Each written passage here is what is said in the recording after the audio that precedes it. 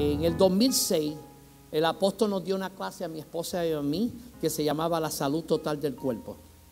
Y en el 2006 se despertó el apetito de aprender más, de querer saber más de la buena salud, de lo que hablaba la Biblia, porque Dios es el más que habla de buena salud. En el tercer libro de Juan capítulo 1 versículo dice, mira amado, quiero que prosperes en toda, coma, y que tenga salud.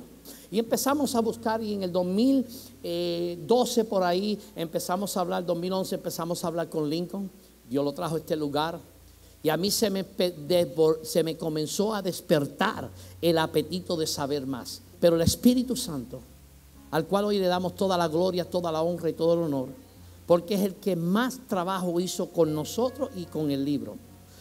Así empezó para nosotros empezó y por eso le doy gracias a Dios. Eh, le pedí a mi padre espiritual que lo leyera y me dijera que creía. Le gustó, le encantó y aún me, nos dio el prólogo. El prólogo del libro, lo confirma de que es un buen libro. Eh, y aprendimos mucho. de ahí nació.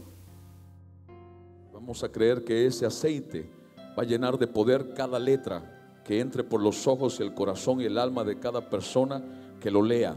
Y será Dios hablando, ya no el hombre, para traer los frutos, la bendición que Dios ha declarado en su palabra y que el Espíritu Santo unja cada letra. Padre, te damos gracias. Señor, nos presentamos delante de ti para consagrar este objeto material para tu uso, para tu gloria, para tus planes y propósitos.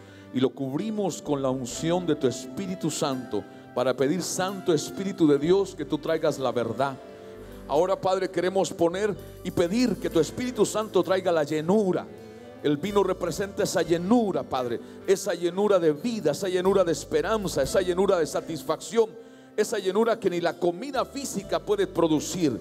Y ahora tomamos el elemento de la sal para pedirte, Espíritu Santo, que tú lo purifiques, que tú evites, Señor, contaminación, que tú evites, Padre, mezclas, que tú evites que todo aquel que lo lea no entre en confusión, sino que la verdad impacte sus mentes y sus corazones, que la sal preserve, que la sal purifique, que la sal haga que sea apartado para tu uso exclusivo, no para ganancia material, sino para tu uso exclusivo y que tú traigas la bendición que tú has determinado, Padre. Lo consagramos, lo dedicamos a ti y te pedimos que tú hagas con él como tú quieras donde tú quieras, con quien tú quieras. Señor, lo establecemos por la fe en ti, en el nombre de Jesús.